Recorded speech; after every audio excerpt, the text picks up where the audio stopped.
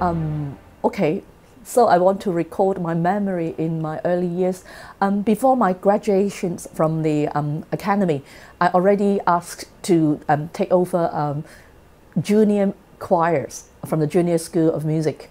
So um, I got a chance to work with little children um, around five years old to 13 years old. So a batch of uh, children and then I'm singing every weekend. So um, I find that it's so difficult for uh, young people like me to work with uh, children. At that time, I found this um, okay managing a rehearsal um, to occupy them, and then they always got um, lots of uh, uh funny ideas for me.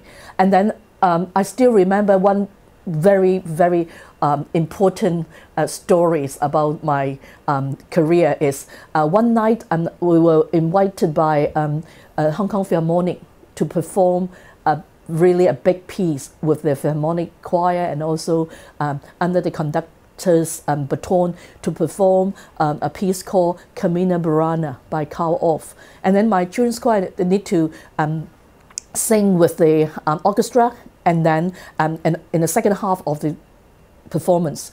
And then I try to uh, ask them to arrive uh, after the intermission so that I can uh, warm them up and then for the performance.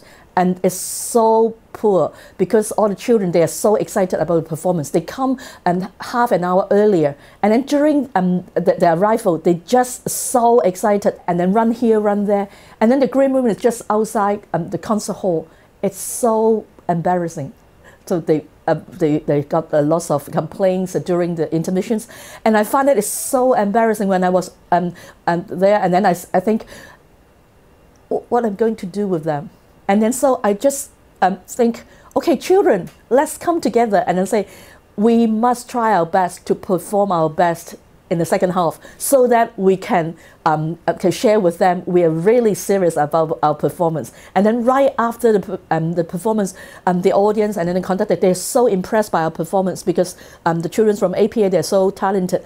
But they are so naughty during the first half of the concert. And then after that, I went back and then to uh, confess to my um, the dean of music and then share with them um, uh, about the uh, the event, and then on also try to sit down and then write a, a letter of apology uh, to the conductor to share how we think that it's not so appropriate for the children uh, to run here and there and then produce not to disturb the audience. And then also, um, I would like to say, um, we we were really glad to have a chance to perform. And then it's so amazing. I think it's, it's a disaster for me because that is my graduation year if the newspaper come up with any any news about um, the critics about this performance, I don't think um, I can graduate. And then very happy after uh, two days, and then I got the um, uh, letters from the um, conductors, and then um, he was so amazing, uh, so appreciate. And then he also say um,